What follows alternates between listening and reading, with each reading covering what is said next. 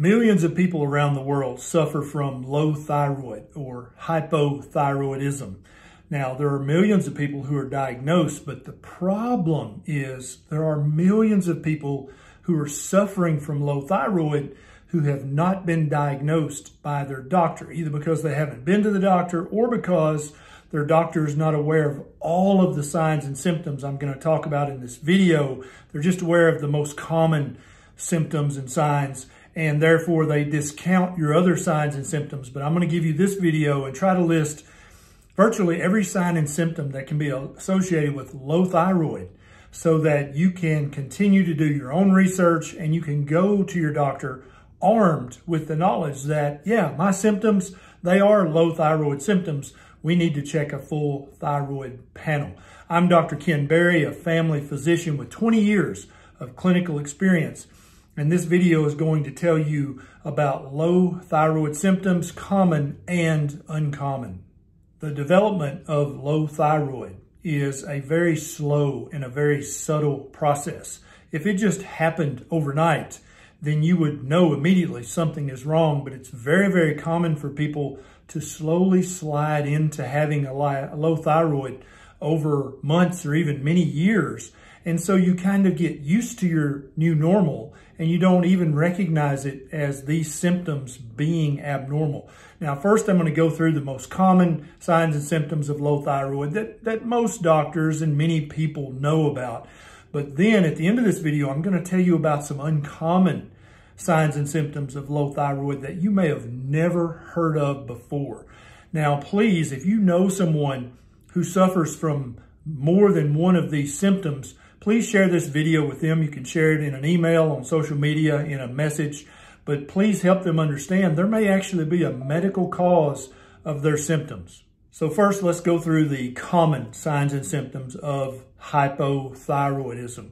They consist of fatigue, weight gain or inability to lose weight, constipation, always feeling cold when others around you don't feel cold, uh, dry skin, muscle weakness, and a goiter or a swollen thyroid gland. Those are the most common signs and symptoms of low thyroid. Most doctors know these symptoms, and many people out there know that those are somehow related to the thyroid. But now, let me tell you about the uncommon signs and symptoms of low thyroid. And some of the ones toward the end of this list, you are going to be blown away because you would have never guessed this could be caused by a low thyroid. Okay, now here we go with the uncommon signs of low thyroid or hypothyroidism. Here they are. Infertility. Yeah, many women have trouble getting pregnant and it's low thyroid is the blame. Breast pain, fibrocystic breast disease. These things can come from a low thyroid clumsiness in general. Yeah, if you're more clumsy now than you were uh, months or years ago, could be your thyroid. Restless leg syndrome, just a general decrease in motivation. You ju- you want to want to do stuff, but you don't really want to. If you have sweet cravings that have intensified, that could be low thyroid. If you have tinnitus, that ringing in your ears, actually associated with low thyroid blurred vision. Is that also associated? Eye spasms. You know that little spasm that won't stop? That could be a sign of low thyroid. Sleep apnea and snoring are also strongly associated with low thyroid. Uh, perspiration changes. You, either, either sweat a lot more now than you used to, or you sweat much less now than you used to. That can be directly linked to a low thyroid. Uh, frequent infections, repetitive bladder infections, repeated colds and bronchitis can be related to low thyroid. More uncommon signs and symptoms of low, low thyroid are poor memory, uh, trouble concentrating, just an unexplained shortness of breath. Now, obviously, shortness of breath can be related to many different medical problems, as can all of these symptoms that I'm talking about, but they are all strongly related with a low thyroid. Uh, hoarseness of the voice. You used to have a nice voice, now it's very hoarse and raspy. Could be low thyroid. Uh, dysmenorrhea. So this is any change in your menstrual cycle. If it's much heavier now than it used to be, or it's much, much lighter now.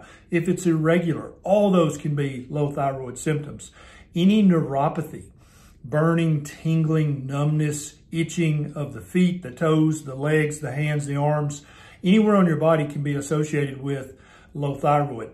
A worsening of your hearing. Now, obviously part of that is due to getting older, but if it's getting worse very quickly, it could be low thyroid. Hair loss, very tightly associated with low thyroid.